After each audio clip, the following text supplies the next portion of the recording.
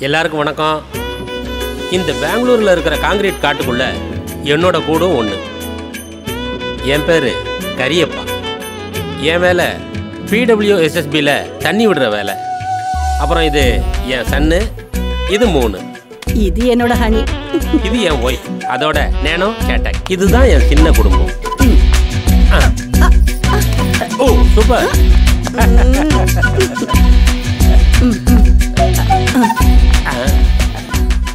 என்னடி விளையாடுற நீ.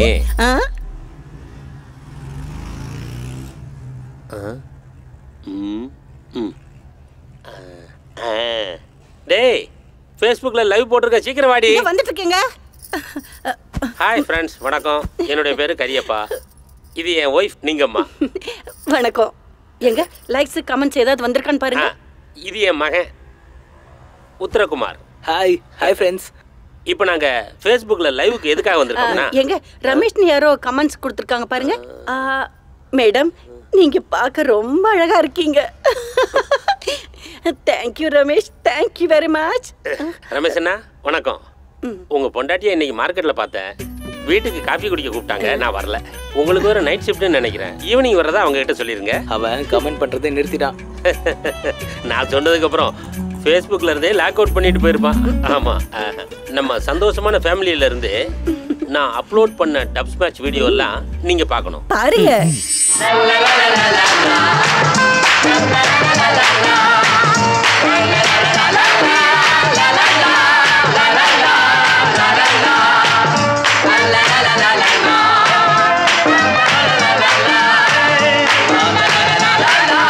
ஃப்ரெண்ட்ஸ் எப்படி நம்ம வீடியோ உங்களுக்கு பிடிச்சிருந்ததுன்னா லைக் பண்ணுங்க கமெண்ட்ஸ் பண்ணுங்க ஷேர் பண்ணுங்க.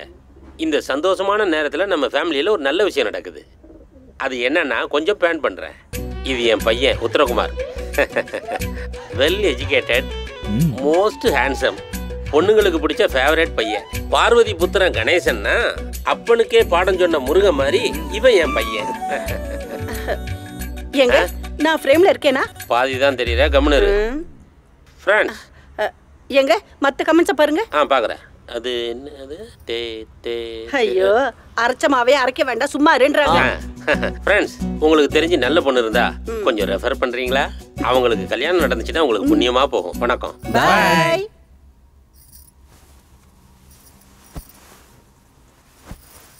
ம் ம்.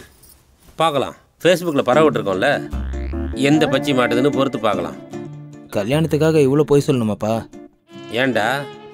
மோஸ்ட் ஹேண்ட்ஸமு வெல்த்தி இன்டெலிஜென்ட்னு சொல்லியிருக்கீங்க. காக்கைக்கும் தன் குஞ்சு பொன் குஞ்சு. பெரியவங்க சும்மாவா சொன்னாங்க ஆயிரம் பொய்யை சொல்லி ஒரு கல்யாணம் பண்ணலான்னு.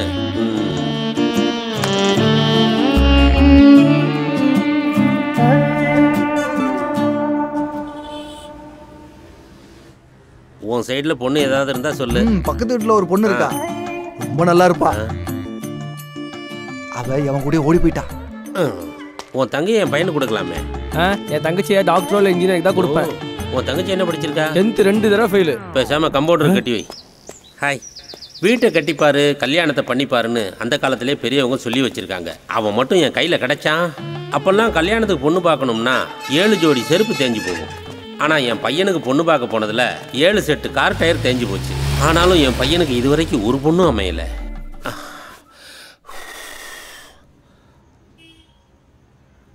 காஃபி எடுத்துக்கோங்க.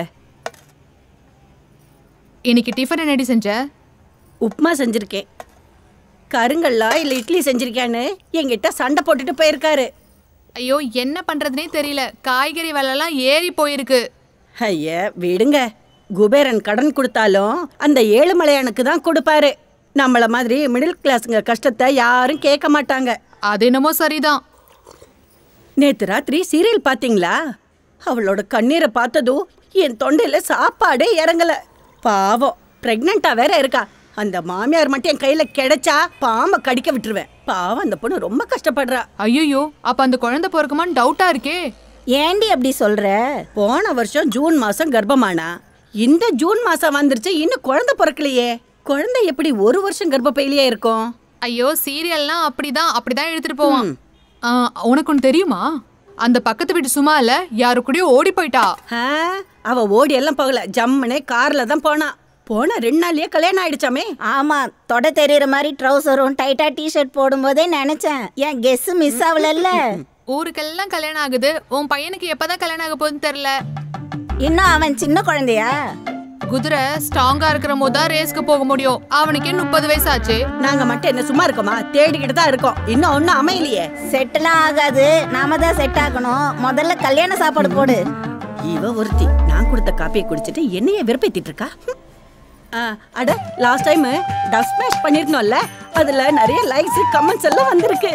அதே மாதிரி இன்னொரு தடவை பண்ணலாமா?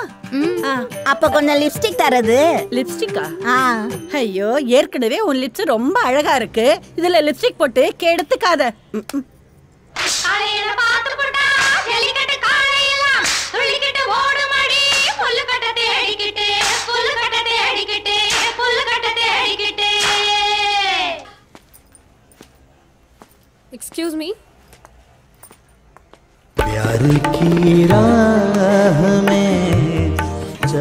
என்னோட பர்த்டே ஸ்வீட் எடுத்துக்கோங்க. Oh happy birthday Kavya. எடுத்துக்கிறேன். தேங்க்யூ அண்ணா.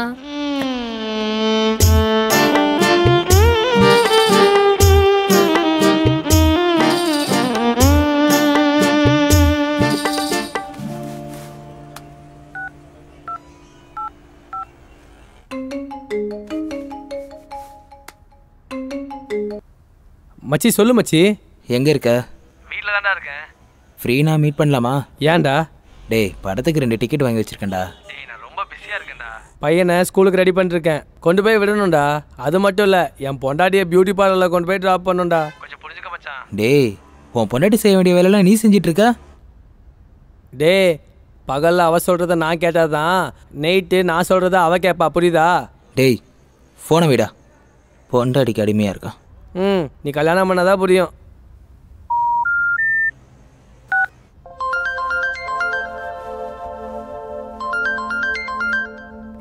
யாரா ஹலோ?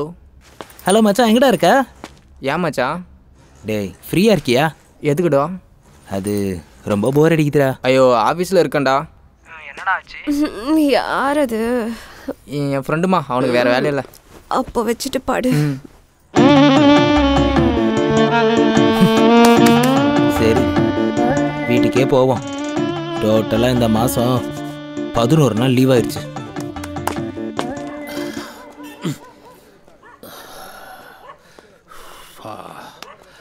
ஏ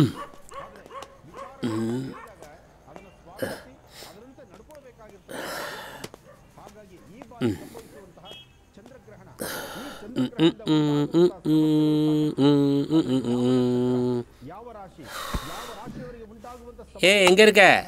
என்னங்க? இங்க வாடி. ஓ காலையிலேயே ஏதோ விஷயம் நடந்திருக்கு போல. நம்ம ஜாக்கிங் ஃப்ரெண்ட் அஸ்வத்தப்பா இருக்கான்ல. ஒரு பொண்ணை பார்க்க என்னை கூட்டிகிட்டு போயிருந்தான். என்னாச்சு? பையனுக்கு கவர்மெண்ட் வேலை இருக்கணுமா? எதுக்கு? எல்லாம் சேஃப்டிக்கு தான். பையன் நல்ல வேலையில் இருந்தால் தானே பொண்ணுக்கு சேஃப்டி நீங்க கவர்மெண்ட் வேலையில தான் இருக்கீங்கன்னு சொல்ல வேண்டியதுதானே? சொன்னேன். என்ன சொன்னாங்க? பொண்ணு உனக்கா உன் பையனுக்கான்னு கேட்டாங்க. ம். அப்புறம்? முதல்ல இந்த கிளாஸை ஷோகேஸில் வை. இன்னும் எவ்வளோ நாளைக்கு இப்படியே? நூற்றி இருபது ஆயிடுச்சு பையனுக்கு ஒரு நல்ல பொண்ணாக கிடச்சிட்டான்னா தேடுறதை நிறுத்திடுவேன். ஆ அப்புறம் அந்த இவனுக்கு ஃபோன் பண்ணு. ஆ புரோக்கருக்கு நாலு புது ஃபோட்டோ வந்திருக்கான். எடுத்துகிட்டு வரேன்னா. எங்க வீட்ல கணபதி ஹோமம் பண்ணலாமா? அட உட்காருமா. எவன்டி உனக்கெல்லாம் இந்த மாதிரி சொல்லி கொடுக்குறான்? எவனோ டிவியில் எதை எதையோ சொல்லிக்கிட்டு இருக்கறதெல்லாம் கேட்டுட்டு வந்து தேவையில்லாமல் ஏன் உயிரை வந்து வாங்கிட்டு இருக்க நீ? போ. போய் ஸ்டவ்வை பற்ற வச்சு எனக்கு தலைவலி போகிற மாதிரி ஒரு காப்பி போட்டு கொண்டு வா. ஹோமம் பண்ணணுமா? என் பேச்சு கேட்க மாட்டாரு. எல்லாம் இவரோட. கேபிள் டிவியை கட் பண்ணணும். ஏய் இவளே. என்னங்க? பேப்பரில் என்ன போட்டிருக்கான் பாரு. அங்கே ஃபாரினில் ஒரு ஆள் ஏப்ரல் ஒன்றாந்தேதி கல்யாணம் பண்ணியிருக்கான். ஃபர்ஸ்ட் நைட்லாம் முடிஞ்சதும் அந்த பொண்ணு ஏப்ரல் ஃபுல்னு சொல்லிட்டாலாம் அதுக்கு இப்படியா சிரிக்கிறது? மே ஒண்ணாம் தேதி உழைப்பாளர் தினம். அன்னைக்கு யாராவது கல்யாணம் பண்ணி குழந்தை பிறக்கலைன்னா வேலை செய்யலைன்னு அர்த்தமா? எந்த நேரம்னு உன் கழுத்தில் தாலி கட்டினா பதிலுக்கு பதில் பதிலுக்கு பதில் பேசிக்கிட்டே இருக்கேன். இதுக்கு ஒன்றும் குறைச்சல் இல்லை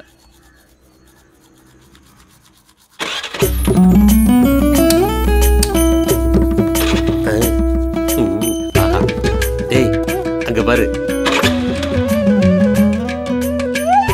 என்னடா நீ? அக்கம் பக்கத்தில் நெருங்கி பழகணும்டா. இப்போ என்ன பாரு.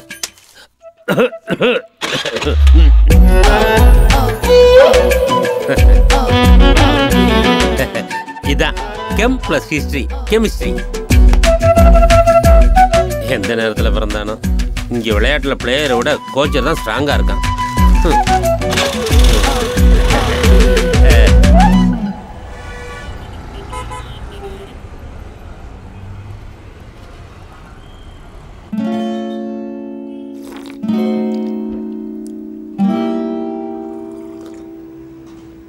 வணக்கம். வணக்கம். ஏன் என்னாச்சு? ரெண்டு பேரும் ஒரு சுத்து கம்மியா இருக்கீங்க? இந்த மாதம் ஆடி இல்லை. அடுத்த மாதம் ஆவணி வந்தால் எல்லாம் சரியாயிரும். சரி சரி. ஒரு நிமிஷம்.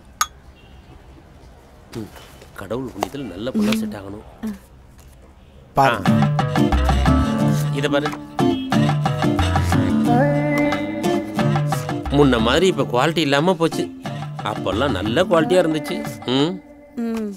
ஏதோ முதல்ல உனக்கு டிஜிட்டல் பிரிண்ட் கொடுத்த மாதிரியும் இப்போ நெகட்டிவ் கொடுக்குற மாதிரியும் சொல்ற? நான் அதை சொல்லப்பா. முன்னால எல்லாம் வெள்ளையா ஒல்லியா காமிப்ப. இப்ப குள்ளமா கருப்பா காமிக்கிற. வெள்ளையா இருந்தா அழகா இல்ல. அழகா இருந்தா ஸ்ட்ரென்த்தா இல்ல. இது மூணு ஒண்ணா சேர்ந்து இருக்கிற மாதிரி ஏதாவது பொண்ணு இருந்தா காமி என்னது? இல்லைன்னா விடுப்பா. நீ பார்க்க கோவமா இருக்க மாதிரி இருக்கு. ஆ சரி உன் பிளான் என்னன்னு சொல்லு. நாளைக்கு காலையில ஒன்பது மணிக்கு ரெடியா இரு. சரி. ரெண்டு வீட்டுக்கு போய் ரெண்டு பொண்ணை பார்க்குறோம். ரெண்டு பொண்ணு ஒரே நேரத்துலயா? ஏன்? ஒரே நேரத்துல ஏழு பொண்ணை பார்த்தோமே மறந்து போச்சா? ஆ சரி ஓகே ஓகே. ஓகேவா இல்லையான்னு பார்த்து சொல்லுங்க உங்க இஷ்டம்தான். ஆ சரி. நான் உங்களுக்கு காட்ட போற கடைசி பொண்ணு இதுதான். எனக்கு கமிஷன் கூட வேண்டாம் அதையும் நீங்களே வச்சுக்கோங்க.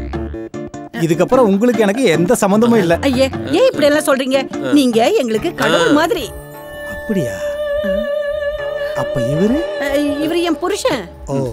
நல்ல வேலை என்ன கடவுள்னு சொன்னா. பாருங்க ப்ரோ ப்ரோவா புரோக்கர்னு சொன்னா ஒரு மாதிரி இருக்கு. அதனால தான் ப்ரோன்னு சொன்னேன். இப்போ என் பையனுக்கு வயசு முப்பது.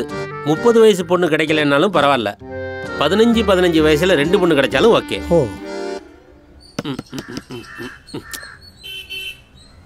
ஏய் என்ன பண்ணிட்டு இருக்க? சாமி கும்பிட்டுட்டு இருக்காங்கப்பா. இருங்க வருவாங்க. இன்னும் எவ்வளவு நேரம் ஆகும்? இதோ வந்துட்டேங்க.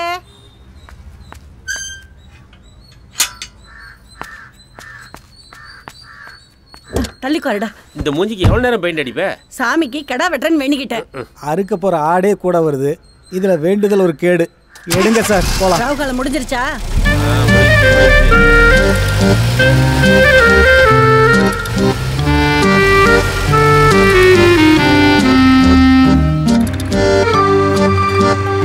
டேய் எழுந்துடா தூங்காத. ஃபேஸ் ஃப்ரெஷ்ஷா இருக்க வேண்டாமா? டல் ஆயிடும். ஐயோ நல்ல காரியத்துக்கு போகும்போது இவனுக்கு வேற அவசகனமா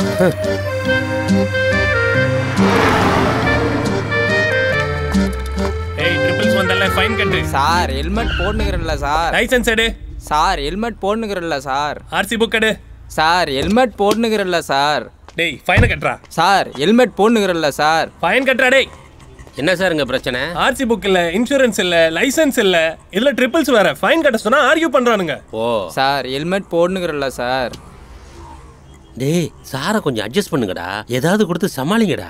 ஆர்சி புக் இல்ல டிஎல் இல்ல இன்சூரன்ஸ் இல்ல. இதுல ட்ரிபிள் ரைடு வேற. சார் ஹெல்மெட் போட்டுக்கிறல்ல சார் டேய் காண்டம் போட்டு ரேப் பண்ணாலும் தப்பு தான்டா பைதவே அங்கிள் உங்க பையன் கிட்ட கொஞ்சம் பர்சனலா பேசலாமா? ஆ அதுக்கு என்னம்மா? நீ பேசு.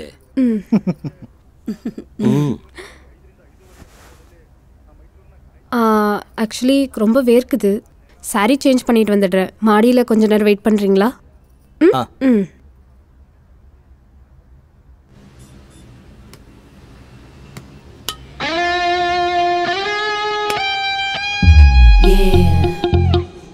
ஹாய் ஹாய் சிகரெட் நோ நான் சிகரெட் அடிக்க மாட்டேன். ஏய் சும்மா அடியா? உன்னை மாதிரி நான் எவ்வளோ பேரை பார்த்துருக்கேன். ஆக்சுவலி எனக்கு உன்னை பிடிச்சிருக்கு.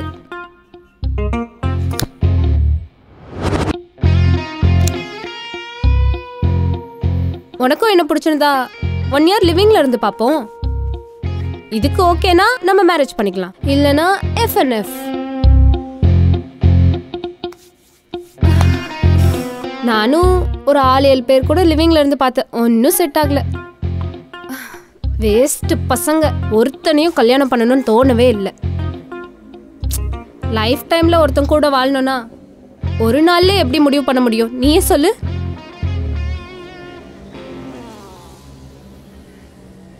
சிகரெட் அப்படியே இருக்கு.